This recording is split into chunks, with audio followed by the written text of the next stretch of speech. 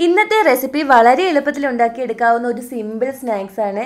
നോമ്പ് തുറക്കുന്ന സമയത്തൊക്കെ കഴിക്കാൻ പറ്റിയ നല്ലൊരു പലഹാരമാണിത്. അതുപോലെ തന്നെ ഒരു അഞ്ചോ പത്തോ മിനിറ്റ് കൊണ്ടൊക്കെ തന്നെ നമുക്ക് തയ്യാറാക്കി എടുക്കാനും പറ്റും. അപ്പം നല്ല ടേസ്റ്റി ആയിട്ടുള്ള ഈ ഒരു പലഹാരം എങ്ങനെയാണ് ചെയ്തെടുക്കുന്നതെന്ന് നോക്കാം. അതിനായിട്ട് ഇവിടെ ഒരു പാൻ വെച്ചിട്ടുണ്ട്. ഈ പാൻ ഒന്ന് ചൂടായി വരുമ്പോൾ ഇതിലേക്ക് ഒരു ടേബിൾ സ്പൂൺ എണ്ണ ഒഴിച്ചു കൊടുക്കണം. ഈ എണ്ണ ഇവിടെ നിന്ന് ചൂടായി വരുമ്പോൾ ഞാനിപ്പോൾ ഇവിടെ ഒരു സവാള ഇങ്ങനെ ചെറുതായിട്ട് അരിഞ്ഞ് വെച്ചിട്ടുണ്ട്. അതുകൂടി നമുക്ക് ഇട്ട് കൊടുക്കാം. ഇതിന്റെ കൂടെ നമ്മുടെ എരിവ് അനുസരിച്ച് പച്ചമുളക് ഇട്ട് കൊടുക്കാം. ഞാനിപ്പം ഒരു പച്ചമുളക് ചെറുതായിട്ട് അരിഞ്ഞത് കൂടി ഇട്ട് കൊടുക്കുന്നുണ്ട്. ഇനി ഇതിലേക്ക് ആവശ്യത്തിന് ഉപ്പ് കൂടി ഇട്ട് കൊടുത്ത് ഈ ഉള്ളി ഒന്ന് സോഫ്റ്റായി വരുന്നവരെ ഇളക്കി കൊടുക്കണം. അതുപോലെ തന്നെ നിങ്ങൾക്ക് ഈ വീഡിയോ ഇഷ്ടപ്പെടുകയാണെങ്കിൽ ഇതുപോലുള്ള വെറൈറ്റി റെസിപ്പികൾക്ക് ഈ ചാനലൊന്ന് സബ്സ്ക്രൈബ് ചെയ്യാനും നിങ്ങളുടെ അഭിപ്രായം കമന്റായി അറിയിക്കാനും മറക്കല്ലേ. ഉള്ളി ഇപ്പോൾ ഇവിടുന്ന് സോഫ്റ്റായി വന്നിട്ടുണ്ട്. ഇനി ഇതിലേക്ക് ഒരു ടീസ്പൂൺ ഇഞ്ചി വെളുത്തുള്ളി പേസ്റ്റ് കൂടി ഇട്ട് കൊടുത്ത് ഉള്ളി ചെറിയൊരു ഗോൾഡൻ കളർ ആകുന്നവരെ ഒന്ന് ഇളക്കി കൊടുക്കാം. ഉള്ളി ഇപ്പോൾ ഇവിടെ ചെറിയൊരു ഗോൾഡൻ കളറായി വന്നിട്ടുണ്ട്. ഇനി നമുക്കിതിലേക്ക് കുറച്ച് പൊടികൾ ഇട്ട് കൊടുക്കണം. ആദ്യം ഒരു കാൽ ടീസ്പൂൺ മഞ്ഞൾപ്പൊടിയും നമ്മുടെ എരിവനുസരിച്ച് മുളക് പൊടി ഇട്ട് കൊടുക്കുക. ഞാനിപ്പോൾ ഒരു അര ടീസ്പൂൺ മുളക് പൊടി കൂടി ഇതിലേക്ക് ഇട്ട് കൊടുക്കുന്നുണ്ട്. ഇനി ഇതിലേക്ക് അര ടീസ്പൂൺ ഗരം മസാലയും കൂടി ഇട്ട് കൊടുത്ത് ഈ പൊടിയുടെ പച്ചമണമൊക്കെ ഒന്ന് മാറുന്നിട്ട് ഒന്ന് ഇളക്കി കൊടുക്കാം. ഇപ്പോൾ ഈ പൊടിയുടെ പച്ചമണമൊക്കെ ഒന്ന് മാറി വന്നിട്ടുണ്ട്. ഇനി നമുക്കിതിലേക്ക് വേണ്ടുന്നത് ഉരുളൻകിഴങ്ങാണ്. ഞാനിപ്പോൾ ഇവിടെ മൂന്ന് ചെറിയ ഉരുളൻകിഴങ്ങ് വേവിച്ച് തൊലിയൊക്കെ കളഞ്ഞ് ഒട്ടും തന്നെ കട്ടകളില്ലാതെ നല്ലപോലെ ഉടച്ചെടുത്തിട്ടുണ്ട്. അതുകൂടി നമുക്കിതിലേക്ക് ഇട്ട് കൊടുക്കാം. ഇനി ഈ മസാലയും ഉരുളൻകിഴങ്ങും എല്ലാം കൂടി നല്ലപോലെ ഒന്ന് മിക്സ് ആവുന്ന രീതിയിൽ നല്ലപോലെ ഇങ്ങനെ ഒന്ന് ഇളക്കിയെടുക്കണം.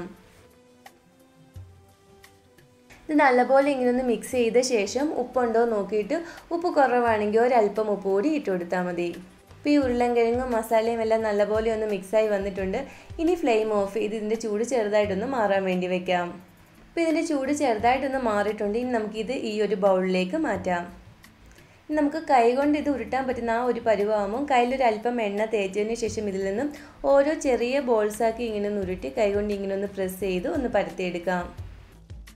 ബാക്കിയെല്ലാം നമുക്ക് ഈ ഒരു ഷേപ്പിൽ ഇങ്ങനെ ഒന്ന് ചെയ്തെടുക്കണം. എല്ലാം നമ്മളിപ്പോൾ ഈ ഒരു ഷേപ്പിൽ ഇങ്ങനെ ഒന്ന് ചെയ്തെടുത്തിട്ടുണ്ട്. ഇനി നമുക്കിതിലേക്ക് വേണ്ടത് മുട്ടയാണ്. ഞാനിപ്പോൾ രണ്ട് മുട്ട ഇവിടെ നിന്ന് പുഴുങ്ങി എടുത്തിട്ടുണ്ട്. ഇനി നമുക്കിത് ഈ ഓരോ മുട്ടയും നാലായിട്ട് ഇങ്ങനെ ഒന്ന് കട്ട് ചെയ്തെടുക്കാം. രണ്ട് മുട്ടയും നമ്മളിപ്പോൾ നാലായിട്ട് ഇങ്ങനെ ഒന്ന് കട്ട് ചെയ്ത് എടുത്തിട്ടുണ്ട്.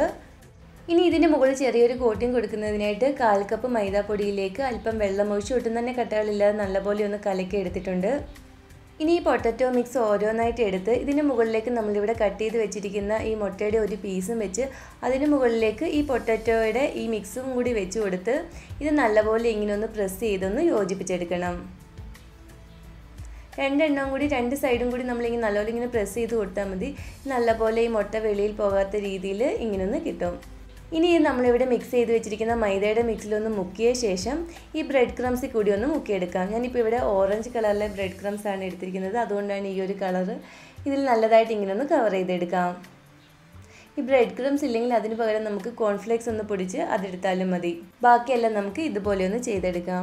എല്ലാം നമ്മളിപ്പോൾ ഇതുപോലെ ഒന്ന് ചെയ്തെടുത്തിട്ടുണ്ട്. ഇനി ഇതൊന്ന് ഫ്രൈ ചെയ്തെടുക്കുന്നതിനായിട്ട് ഈ ഒരു പാനിലേക്ക് എണ്ണ ഒഴിച്ചു കൊടുക്കാം. ഒരുപാട് എണ്ണ ഒഴിച്ചു കൊടുക്കേണ്ട ആവശ്യമില്ല. വളരെ കുറച്ച് എണ്ണ ഒഴിച്ചു കൊടുത്താൽ മാത്രം മതി. എണ്ണയൊന്ന് ചൂടായ ശേഷം തീ ഒരു മീഡിയം ഫ്ലെയിമിൽ വെച്ച് ഇത് ഓരോന്ന എണ്ണയിലേക്ക് ഇട്ട് കൊടുക്കണം. ഇനി ഇത് അങ്ങോട്ടും ഇങ്ങോട്ടും തേച്ചിട്ട് കൊടുത്ത് രണ്ട് സൈഡും നല്ലൊരു ഗോൾഡൻ കളർ ആകുന്നവരെ ഒന്ന് ഫ്രൈ ചെയ്തെടുക്കാം. ഇപ്പോൾ രണ്ട് സൈഡും ഒരു ഗോൾഡൻ കളറൊക്കെ ആയി വന്നിട്ടുണ്ട്. ഇനി നമുക്കിതും കോരിയെടുക്കാം ബാക്കിയുള്ളതും ഇതുപോലെ ഒന്ന് ഫ്രൈ ചെയ്തെടുക്കണം. അങ്ങനെ ഉരുളൻ കിഴങ്ങും മുട്ടയൊക്കെ വെച്ചിട്ട് വളരെ പെട്ടെന്ന് തയ്യാറാക്കി എടുക്കുന്ന നല്ല ടേസ്റ്റി ആയിട്ടുള്ള സ്നാക്സ് ഇവിടെ റെഡി ആയിട്ടുണ്ട്.